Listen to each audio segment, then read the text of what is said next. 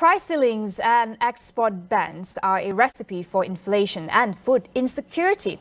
According to Center for Market Education CEO Carmelo Ferlito, these measures imposed by the government to tame inflation will only delay the problem. He explains why.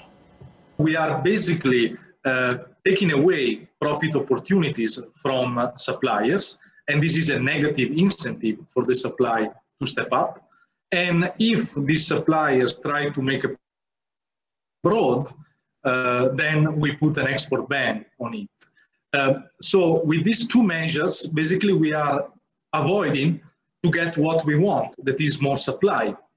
So potentially what we can get after this is that some suppliers cease operations. So we, we can even observe unemployment in, uh, in the industry, but for sure we don't get the additional supply that we need, and prices will remain uh, tense toward the high level. In the moment in which the ceilings are removed, uh, then prices will get high again because the supply has not stepped up.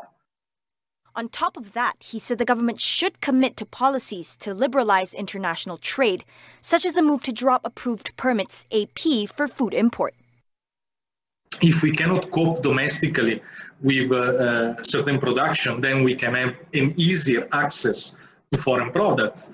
Uh, the, the, this is a way to, to try to cool down prices. But again, the problem is with price ceilings, uh, then probably uh, importers don't want to import because they don't see profit opportunities there.